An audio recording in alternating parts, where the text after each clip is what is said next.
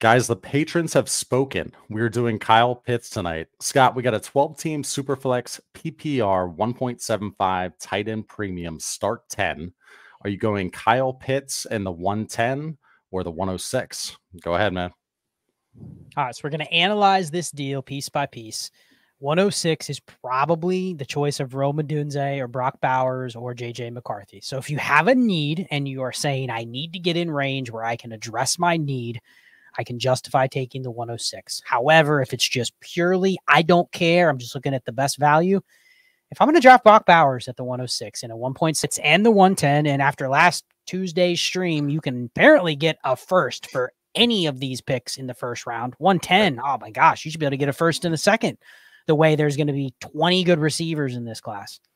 This is Kyle Pitts and a first for Brock Bowers, who is not taking the extra first there and just playing with the first. So I'm looking at that trade as give me the two pieces very, very easily. Shane, you saw this like 20 seconds before the show as well. You were a little bit uh a little bit closer on the I mean, 106 side. Go ahead. No, yeah, I love Scott, but um he's about a thousand and fifteen percent wrong uh percent wrong here. He's valuing Kyle Pitts as a first round pick. Kyle Pitts hasn't been worth a first round rookie pick since oh, 2022. Um, my dude uh, has shown absolutely nothing. Got absolutely outplayed by Junu Smith last year. Was fighting for targets with him. Couldn't beat out Junu Smith, Jonnu Smith, whatever his name is. Don't care. Um, Pitts might turn out to be a, a tight end eight, tight end seven, and that's cool. Getting you those 11 points a week. And I'm sure people feel good about those 11 points a week.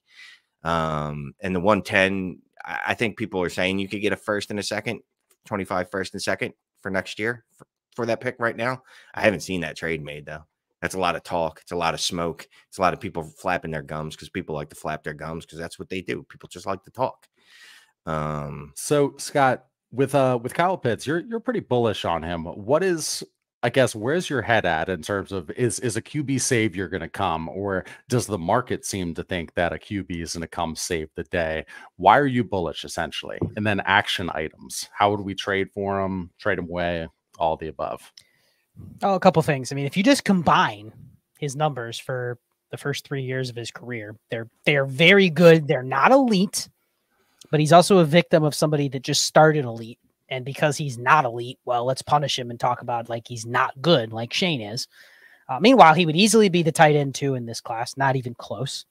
Uh, he would easily be taken in a 1.75 uh, real premium. Quick, real quick, I would be the tight end three in this class. I don't give a shit if he'd be the tight end two you, in this class. You cut me off before my next point. If it's a 1.75 premium, and I think we're anticipating Atlanta to either draft a rookie QB or get Kirk Cousins, which if they get Kirk Cousins – the community sentiment on Kyle Pitts is Shane, is Kyle Pitts worth a first?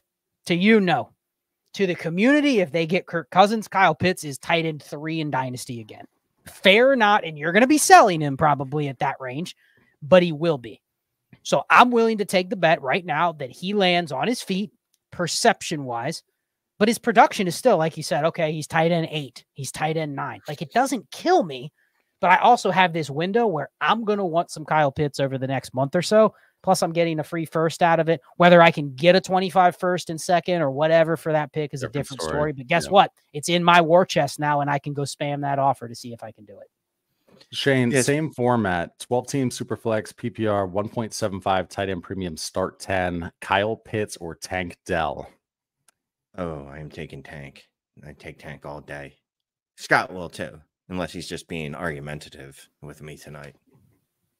What do you think? 1.75, you going Pitts or Dell?